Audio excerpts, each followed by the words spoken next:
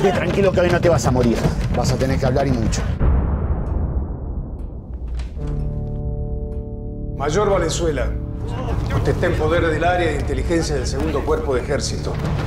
¿Qué te pidieron que hagas? Hablé con Galtieri, que está al mando de todo esto. Quieren aprovechar mi rango para que me infiltren en la orga. Quieren matar a Firmenich y al resto de la conducción. Y si no lo hago, se termina la cordialidad y nos matan a todos acá, ¿no? Eso depende de usted.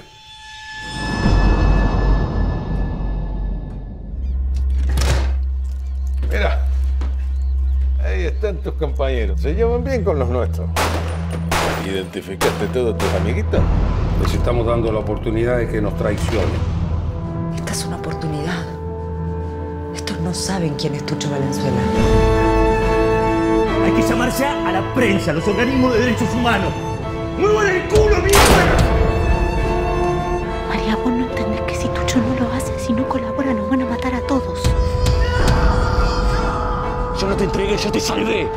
Yo te di vida, ¿puedes entenderlo?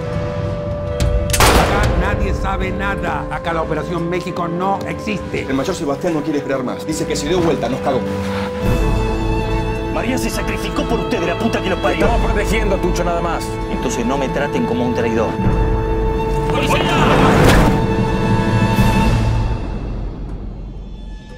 Patria o muerte.